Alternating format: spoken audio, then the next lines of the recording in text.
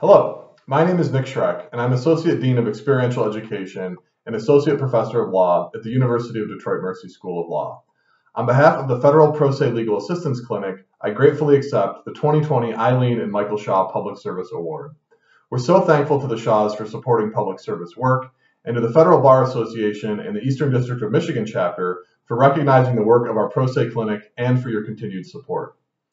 The Pro Se Clinic is the result of a wonderful idea from Judge Victoria A. Roberts and Chief Judge Denise Page Hood of the U.S. District Court for the Eastern District of Michigan, and the hard work of our law school dean Phyllis Crocker, the many efforts of my predecessor Ann Yantis, and our first clinic director Kevin Carlson.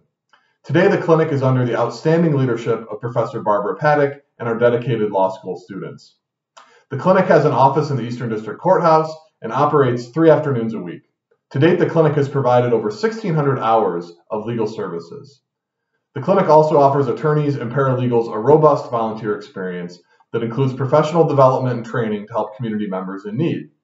The clinic's critical to the administration of justice as it supports the efforts of pro se litigants with claims in very complex areas of the law, such as civil rights, employment discrimination, social security appeals, personal injury, and contract claims, which are difficult for laypersons to navigate without attorney assistance.